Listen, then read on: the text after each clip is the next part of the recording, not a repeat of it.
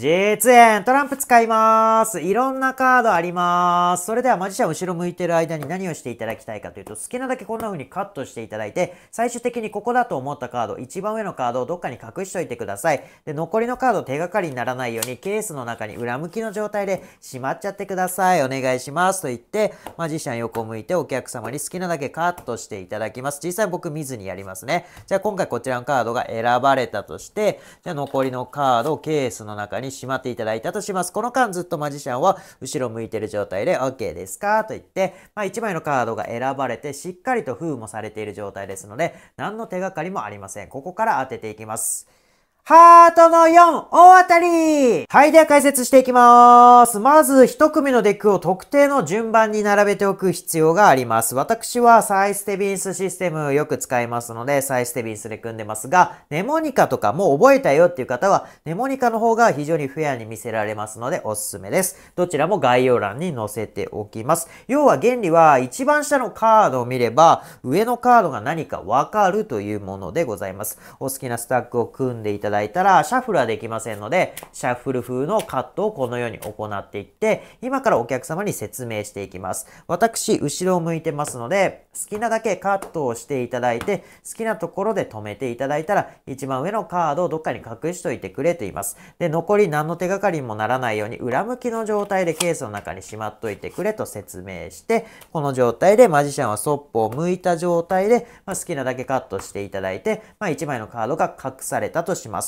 そして残りのカードをこのままケースの中にしまってもらうわけです。この間ずっと後ろ向いてて、で、前を向いて、で、このカードをま当てていくわけなんですけれども、まあどうやって当てるかというと、封もちゃんとね、蓋も閉じていただいたのでと言いながらここで覗き見してます。ビラビラになっております。まあ、このように、こう、広げられるんですけれども、まあ、こう、封閉じた、封も閉じられてますね、と言いながら親指で広げて、このカードを確認します。で今回、サイステビンスになりますので、まあ、ダイヤの5っていう風にわかるっていうものですね。で、このまま示してチラッと見せて、で、この面表向きに置いちゃってもいいんですけれども、まあちょっと嫌なので、このまま、まあ、裏向きに置いとくのが無難かと思います。まあ、どっかにしまっちゃってもいいかなと思います。で、あとは、ま好きな演出で当てていくっていうものでございます。えー、このビラビラの、ま作り方は単純に、ここについてるビラビラ両方は剥がしといた方がいや楽かなと思います。